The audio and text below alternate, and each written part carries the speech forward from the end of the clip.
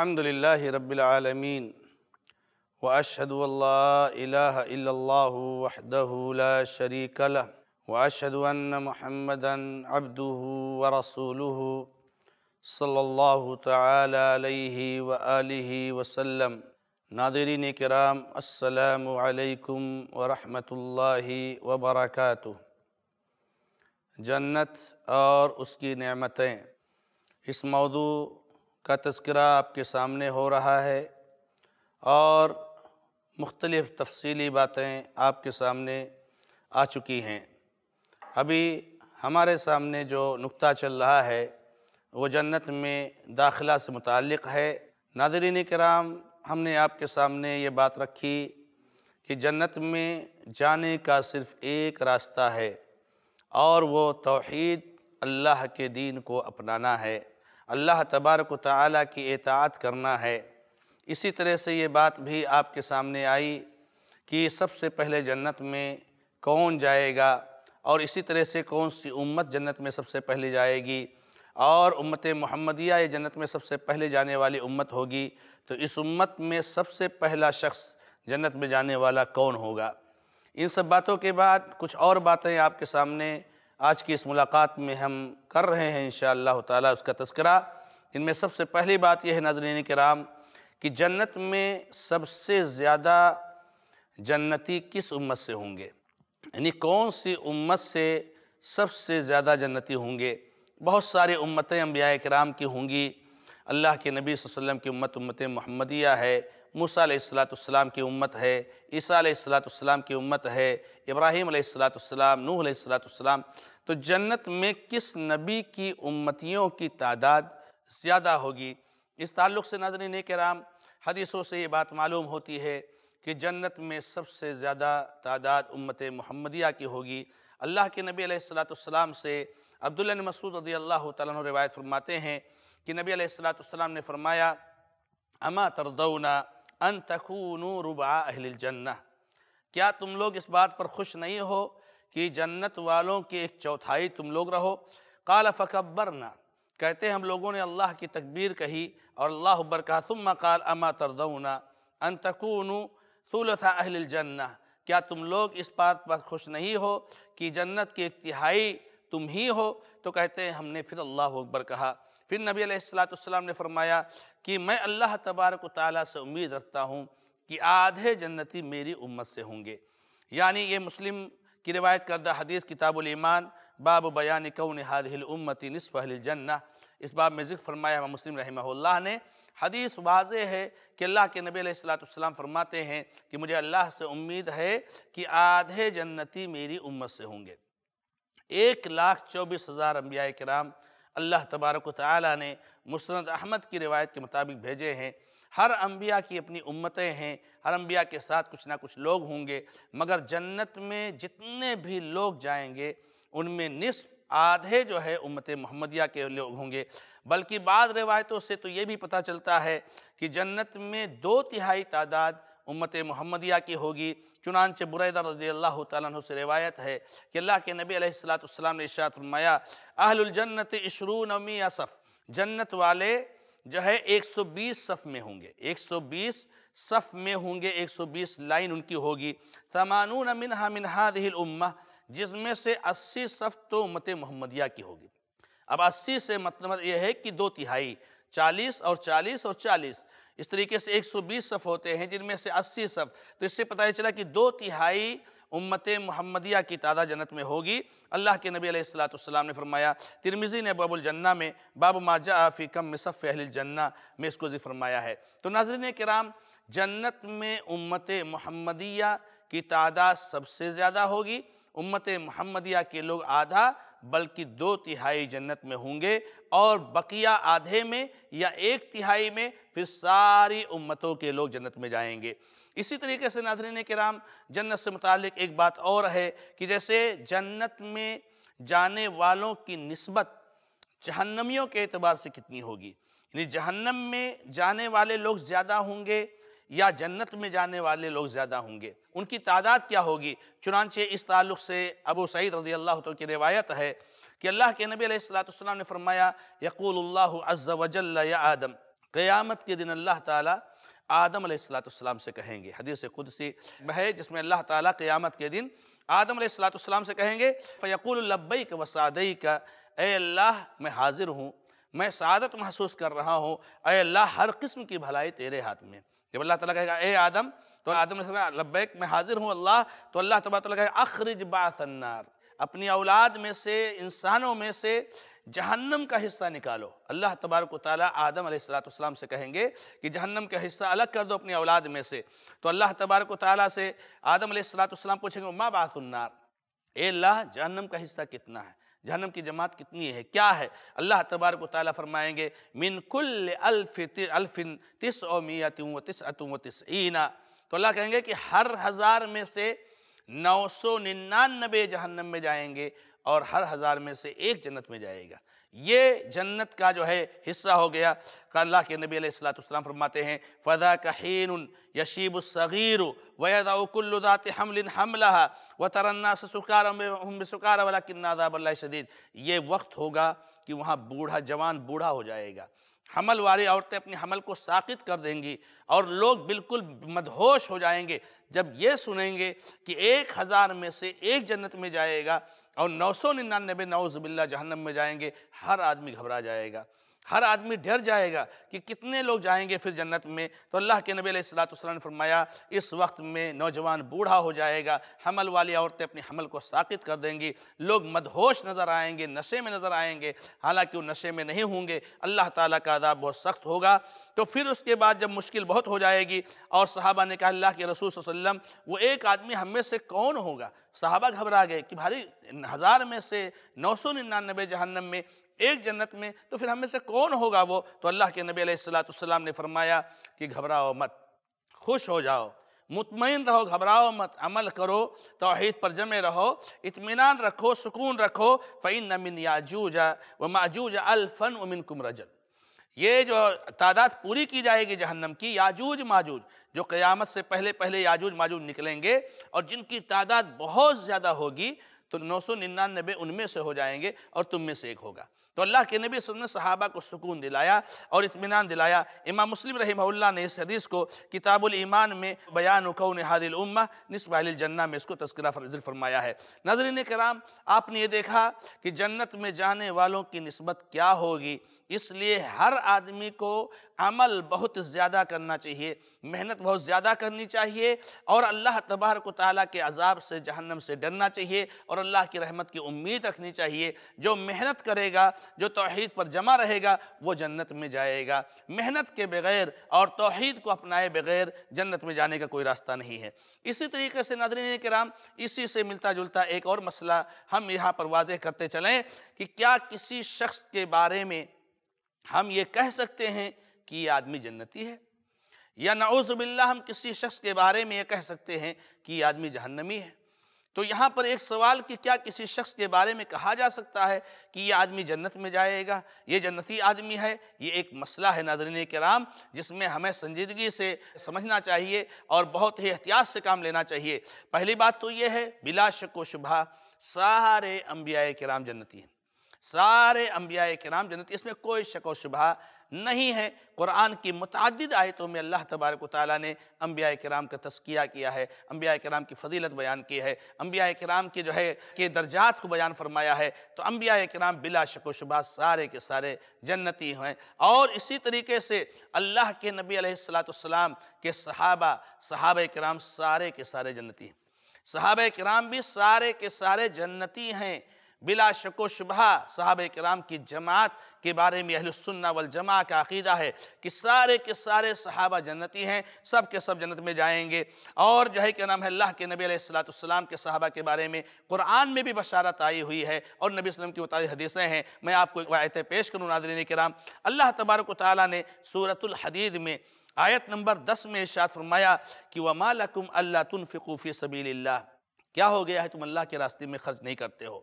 واللہ وللہ میراث السماوات حالانکہ آسمان اور زمین کی وراثت اللہ کے لیے ہے لا يستوی منکم من انفق من قبل الفتح وقاتل یاد رکھو، فتح مکہ سے پہلے جس نے تم میں سے خرچ کیا ہے اور قتال کیا ہے، وہ برابر نہیں ہو سکتے ہیں۔ اولئک آدم درجت من الذین انفقوا من بعد وقاتلوا۔ وہ لوگ زیادہ درجہ کے اعتبار سے بڑھے ہوئے ہیں۔ ان سے جنہوں نے فتح مکہ کے بعد خرچ کیا یا قتال کیا، وَكُلًّا وَعَدَ اللَّهُ الْحُسْنَى۔ لیکن ہر ایک سے اللہ نے حسنہ کا وعدہ کیا ہے۔ واللہ بما تعملون خبیر اور جو کچھ بھی تم کرتے ہو اللہ خبر رکھنے والا ہے۔ ناظرین کرام، اس آیت مبارکہ میں اللہ تبارک و تعالیٰ نے صحابہ کرام کا تذکرہ کیا ہے۔ اور یہ بیان فرمایا ہے کہ فتح مکہ سے پہلے جن صحابہ کرام نے اللہ کے راستے میں اپنے مال کو لٹایا ہے اور اللہ کے راستے میں اپنی قربانیاں دی ہیں، جان دیے ہیں اور اپنے قتال کیے ہیں، لڑائیاں کیے ہیں، جنگ کیے ہیں یہ صحابہ کرام زیادہ درجہ والے ہیں، بنسبت ان صحابہ کرام کے جنہوں نے فتح مکہ کے بعد مال اللہ کے راستے میں دیے ہیں یا قتال کیا ہے اور اپنی جان کی قربانیاں دی۔ کیونکہ فتح مکہ کے بعد اسلام ظاہر ہو گیا، غالب ہو گیا، اتنی مشکلات اسلام کے سامنے نہیں رہیں جو مشکلات فتح مکہ سے پہلے۔ لیکن اللہ نے یہ کہا، وَكُلًّا وَعَدَ اللَّهُ الْحُسْنَى۔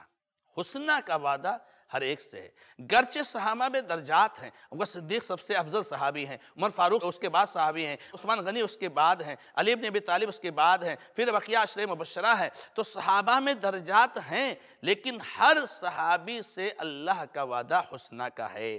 اسی طریقے سے اللہ نے دوسری جگہ پر ارشاد فرمایا ہے سورة النساء میں آیت نمبر پنچانوے میں، کہ لا يستوي القائدون من المؤمنین غیر اولی الضرر والمجاہدون فی سبیل اللہ باموالہم وانفسہم علی القائدین درجہ وَكُلًّا وَعَدَ اللَّهُ الْحُسْنَى اللہ تبارک و تعالیٰ فرماتے ہیں کہ یہ جو اللہ کے راستے میں قتال کرنے والے ہیں، جہاد کرنے والے ہیں، اور جو ہے کیا نام ہے، جو نہیں کر پاتے ہیں، وہ نہیں اللہ کے رسم جہاد کرتے ہیں، اللہ تبارک و تعالیٰ کہتے ہیں کہ یہ برابر نہیں ہے۔ جہاد کرنے والوں کو اللہ نے درجے میں بڑھایا ہے، لیکن اللہ فرماتا ہے وَكُلًّا وَعَدَ اللَّهُ الْحُسْنَى ہر ایک سے اللہ نے حسنہ کا وعدہ کیا ہے۔ وَفَضَّلُ اللَّهُ الْمُجَاهِدِينَ عَلَى الْقَائِدِينَ اللہ تعالیٰ نے مجاہدین کو بیٹھے رہنے والوں پر بہت بڑے ثواب سے فضیلت دی ہے۔ یہاں بھی اللہ نے سارے صحابہ کے لیے حسنہ کا وعدہ کیا ہے۔ اب حسنہ کیا ہے؟ حسنہ کسے کہا جاتا ہے؟ تو حسنہ اگر آپ دیکھنی ہے، تو سوچنا یہ جو ہے، کیا نام ہے، آپ تفسیر اٹھا کر کے دیکھیں، تفسیر کی کتابیں اٹھا کر کے دیکھیں، تو آپ کو پتا چلے گا کہ حسنہ کی تفسیر جو ہے صحابہ نے اور مفسرین نے جنت سے کی ہے۔ کلن وعد اللہ الحسنہ۔ یعنی ہر ایک سے حسنہ کا وعدہ ہے یعنی ہر صحابی سے جنت کا وعدہ ہے۔ سارے صحابہ جنتی ہیں۔ دسرے مبشرہ کو تو اللہ کے نبی علیہ السلام نے ایک ہی مجلس میں باقاعدہ نام لے کر کے بتایا، فلان فی الجنہ، فلان فی الجنہ، دس صحابہ کرام کو جس کو عشر مبشرہ کہا جاتا ہے۔ تو یہ صحابہ کرام جنتی ہیں، بلا شک و شبہ انبیاء کرام سارے کے سارے جنتی ہیں۔ مگر ناظرین کرام، کسی شخص معین کے بارے میں جنتی قطعیت کے ساتھ کہنا یہ اللہ کے نبی علیہ السلام کی سنت نہیں ہے۔ اللہ کے نبی علیہ السلام نے اس سے منع فرمایا ہے۔ ہم امید رکھتے ہیں، ہم دعائیں کر سکتے ہیں سارے مسلمانوں کے لیے، تابعین کے لیے، اسلاف کے لیے، محدثین کے لیے، ائمہ کے لیے، صالحین کے لیے۔ لیکن اس کی حقیقت اللہ کو معلوم ہے۔ لہذا آپ سنیں ایک حدیث کے بارے میں کہ ام العلا انصاریہ رضی اللہ تعالیٰ کے بارے میں آتا ہے۔ صحابہ کی اس فضیلت کے بعد کسی شخص معین کے بارے میں جنتی ہونے کا حکم نہیں لگایا جا سکتا ہے، کیونکہ اس کا تعلق باطن سے ہے اور باطن کا علم صرف اللہ کو ہے۔ ام العلا انصاریہ رضی اللہ تعالیٰ کا واقعہ ہے۔ عثمان ابن مضعون کے بارے میں کہ ان کی وفات کے بارے میں رسول اللہ صلی اللہ علیہ وسلم کی موجودگی میں ام العلا نے کہا۔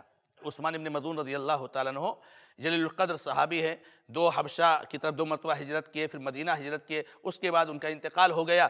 تو ام العلا انصاریہ رضی اللہ تعالیٰ عنہ نے ان سے بارے میں کہا، تجھ پر اللہ کی رحمت ہے، میں تیرے حق میں گواہی دیتی ہوں کہ اللہ نے تجھے عزت بخشی۔ یعنی عثمان بن مزون کا جب انتقال ہوا تو ام العلا نے ایسا کہا کہ تجھ پر اللہ کی رحمت ہے، میں گواہی دیتی ہوں کہ اللہ نے تجھے عزت بخشی ہے۔ اللہ کے نبی علیہ السلام نے فوراً کہا، ام العلا، تجھے کیسے معلوم ہوا کہ اللہ نے ان کو عزت دی ہے؟ میں نے عرض کیا، یا رسول اللہ، میرے ماں باپ آپ پر قربان ہوں، اللہ تبارک و تعالیٰ کس کو عزت دے گا؟ آپ نے شاعت میں بے شک عثمان کو موت آ گئی اور اللہ کی قسم، میں اس کے لیے اللہ سے خیر اور بھلائی کی امید رکھتا ہوں۔ لیکن ام العلا اللہ کی قسم، میں نہیں جانتا کہ قیامت کی روز میرا کیا حال ہوگا؟ حالانکہ میں اللہ کا رسول ہوں۔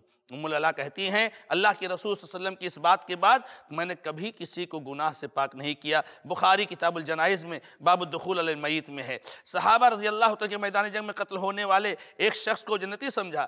ایک شخص جو مسلمانوں کی طرف سے لڑ رہے تھے اور صحابہ کرام نے ان کی محنت اور جرات اور ان کے قتال کرنے کے محنت کو دیکھ کر کے ان کو جنتی سمجھا۔ مگر اللہ کے نبی علیہ السلام نے فرمایا، وہ جہنم میں ہیں عمر بن خطاب رضی اللہ تعالیٰ عنہ کی روایت ہے کہ رسول اللہ صلی اللہ علیہ وسلم سے کہا گیا، اے اللہ کے رسول صلی اللہ علیہ وسلم، فلاں آدمی شہید کر دیا گیا اللہ کے راستے میں۔ اللہ کے نبی علیہ السلام نے کہا، بالکل نہیں، میں نے ان کو جہنم میں دیکھا ہے۔ ایک عبا ایک چادر کی انہوں نے خیانت کی تھی۔ امام ترمزی رحمہ اللہ نے ابو سیار میں باب الغلول میں اس کو ذکر فرمایا ہے۔ سہل ابن سعید رضی اللہ کی روایت ہے کہ رسول اللہ صلی اللہ علیہ وسلم نے فرمایا ان الرجل لیعمل عمل اہل الجنت۔ آدمی جنتیوں کے عمل انجام دیتا ہے، جو لوگوں کے لیے ظاہر ہوتا ہے۔ حالانکہ وہ جہنمیوں میں سے ہے، یا آدمی جہنمیوں کے عمل انجام دیتا ہے، جو لوگوں کے لیے ظاہر ہوتا ہے۔ حالانکہ وہ جنت والوں میں سے ہیں۔ امام مسلم رحمہ اللہ نے کتاب القدر میں اس کو ذکر فرمایا ہے۔ تو ناظرین کرام، اس بات کا خلاصہ یہ ہے کہ حامبیاء کرام سارے کے سارے جنتی ہیں، صحابہ کرام سارے کے سارے جنتی ہیں۔ ہر موحد جنتی ہے، مگر کسی موحد کے بارے میں، کسی مومن کے بارے بارے میں نام کے ساتھ یہ کہنا کہ یہ جنت میں جانے والے ہیں، یہ جنتی ہیں اور یہ جنت میں داخل ہوں گے، یہ اللہ کے نبی علیہ السلام کی سنت اور سیرت نہیں ہے۔ اس لیے ہمیں احتیاط کرنا چاہیے۔ اللہ تعالیٰ نے ہمیں ہر مومن کے لیے دعا کرنے کا حکم دیا ہے۔ اللہ تعالیٰ نے ہمیں ہر مومن کے لیے اللہ کی رحمت کی امید رکھنے کا حکم دیا ہے۔ مگر اللہ تبارک و تعالیٰ نے ہمیں یہ حکم نہیں دیا ہے کہ ہم قطعی طور سے کسی کے جنتی ہونے کے بارے میں فیصلہ کریں۔ اسی طریقے سے ناظرین کرام، ان باتوں کو جاننے کے بعد، آئیے اب ہم آپ کو آخری مرحلے میں یہ بات بتاتے چلیں اور کچھ دعائیں سکھاتے چلیں کہ نبی صلی اللہ علیہ وسلم نے جنت طلب کرنے کی اور جنت مانگنے کی کچھ دعائیں سکھائیں۔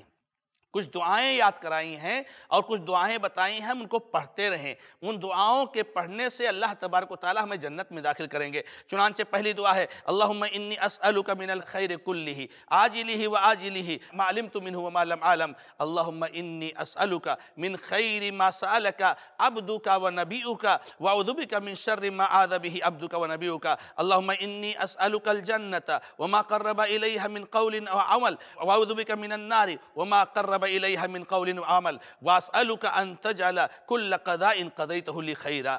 اب یہاں دیکھیے، اللہ کے نبی صلی یہاں پر سکھایا ہے، اللہم انی اسألک الجنت وما قرب الیہ من قول عمل.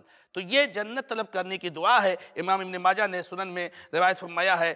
دوسری دعا جو نبی صلی اللہ علیہ وسلم نے سکھائی ہے ناظرین کرام، وہ دعا یہ ہے، اللہم مقسم لنا من خشیتک ما تحول به بیننا بین معصیک ومن طاعتك ما تبلغنا به جنتك ومن اليقين ما تهون به علينا مصائب الدنيا ومتعنا بأسماعنا وأبصارنا وقواتنا ما أحييتنا واجعله الوارث منا واجعل ثارنا على من ظلمنا وانصرنا على من عادانا ولا تجعل مصيبة في ديننا ولا تجعل الدنيا أكبر همنا ولا مبلغ علمنا ولا تسلط علینا من لا يرحمنا۔ اسی طریقے سے تیسری دعا ناظرین کرام جو نبی علیہ السلام نے سکھائی ہے، اللہم انا نسألک موجبات رحمتک وعزائم مغفرتک والغنیمت من کل بر والفوز بالجنت والنجات من النار۔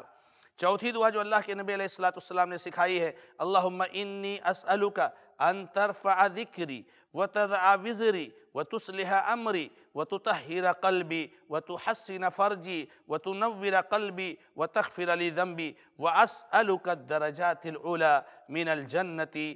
مستدرک حاکم، ناظرین کرام، یہ چار دعائیں اللہ کے نبی علیہ السلام کی ہیں، جو اللہ کے نبی علیہ السلام نے جنت طلب کرنے کے لیے ہمیں اور آپ کو سکھائی ہیں۔ آئیے ناظرین کرام، اس سلسلے کی آخری بات، وہ بطور خلاصہ آپ کے سامنے باتوں کو رکھنا ہے۔ میں ناظرین کرام، ہم نے مختلف تفصیلات کے ذریعے سے اور مختلف جزئیات کے ذریعے سے ہم نے جنت کی تفصیلات کو پڑھا اور جانا اور سنا اور ہم نے اس کو اچھی طریقے سے دیکھا کس طریقے سے اللہ تبارک و تعالی نے جنت کو تیار کیا ہے۔ اللہ رب العزت نے جنت کو ہمارے لیے سجایا ہے۔ اللہ رب العزت نے جنت کو ہمارے لیے بنایا ہے اور کتنی عظیم عظیم نعمتیں اللہ تبارک و تعالیٰ نے جنت میں ہمارے لیے رکھی ہیں اور ان چیزوں کا تذکرہ اللہ تبارک و تعالیٰ نے قرآن میں بھی کیا ہے، اللہ کے نبی علیہ السلام کی حدیثوں میں کیا ہے۔ چنانچہ سب سے پہلے ہم نے جنت کے بارے میں پڑھا اور جانا اور سنا کہ جنت یہ اللہ تبارک و تعالیٰ کی عظیم نعمت ہے۔ ہم اس کی تفصیلات جانتے ہیں اور سن رہے ہیں تو یہ تفصیلات بالکل حقیقی اور واقعی ہیں۔ ان تفصیلات کے بارے میں ہم کبھی یہ نہ سوچیں کہ ہماری عقل میں نہیں آ رہی ہیں۔ تو یہ چیزیں صحیح نہیں ہیں۔ جو ہمارے عقل میں نہ آئے وہ چیز درست نہیں ہے، ایسا نہیں ہے۔ اللہ تعالیٰ نے ہماری عقل کو محدود بنایا ہے۔ ہماری عقل بہت چھوٹی ہے۔ اللہ تبارک و تعالیٰ نے جو قرآن کریم میں بیان فرمایا ہے، اور جس طریقے سے اللہ تعالیٰ نے اس کو نبی صلی اللہ علیہ وسلم کے حدیثوں کے ذریعے سے بیان فرمایا ہے، وہ چیزیں بالکل من و ان صحیح ہیں۔ قرآن اور حدیث کی باتوں کو اپنی عقل پر نہیں پرکھا جاتا ہے۔ اسی طریقے سے جنت بالکل موجود ہے، اور جنت کے موجود ہونے میں کوئی شک اور شبہ نہیں ہے۔ قرآن سے بھی ثابت ہے، حدیثوں سے بھی ثابت ہے۔ اور اسی طریقے سے جنت کی جو تفصیلات اور بہت زیادہ اللہ نے بیان فرمایا ہے بہت ساری صورتوں میں اللہ نے بیان فرمایا ہے، جس کی بہت ساری آیتیں آپ کے سامنے آئی ہیں۔ یہ تفصیلات اس لیے بیان کی گئی ہیں۔ اور ہم نے بھی آپ کے سامنے جو پروگرام پیش کیا ہے، اس لیے پیش کیا ہے کہ تاکہ ہمارے اندر شوق پیدا ہو، ہمارے اندر تڑپ پیدا ہو، ہمارے اندر رغبت پیدا ہو کہ ہم جنت کو حاصل کریں۔ یہ دنیا کی زندگی چند روزہ ہے۔ ناظرین کرام، آپ غور کریں تو کیا ایسا نہیں ہے کہ ہم میں سے کوئی آدمی نہیں جانتا ہے کہ ہم ایک دن زندہ رہیں گے؟ دو دن زندہ رہیں گے، ایک مہینہ، ایک سال، دو، دس، بیس سال، کتنا ہم زندہ رہیں گے؟